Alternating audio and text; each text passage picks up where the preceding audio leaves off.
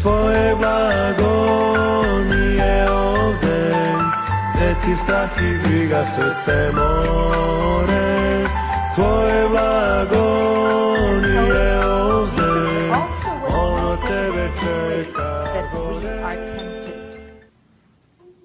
But he kept his spirit right with God all the time, and he had a perfect character. As I said before, what is the only thing that we will be able to take to heaven? The character. Are the habits your character? No. The habits stabilize your character. Let me read it. It is by repetition of acts that habits are established and character confirmed. They stabilize your character, but they are not your character. That is why you can have a right character from day one before you ever develop new habits. Do you see?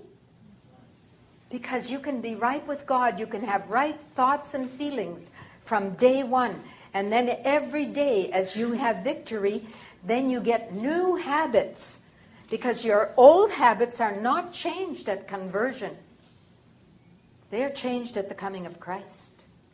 Those old habits are there, but you don't have to follow them anymore because now you have power to go against them and develop new habits.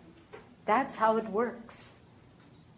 And so today you can be right with God as long as your heart is fully surrendered and you are allowing Him to work in your spirit. Isn't that wonderful? We don't have to be discouraged.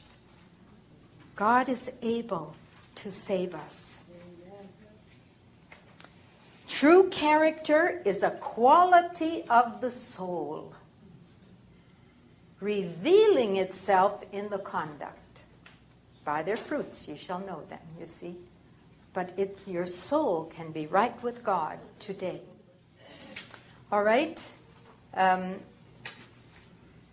it is the spiritual and moral character that is of value in the sight of heaven and that will survive the grave and be made glorious with immortality for the endless ages of eternity. The spiritual and moral character.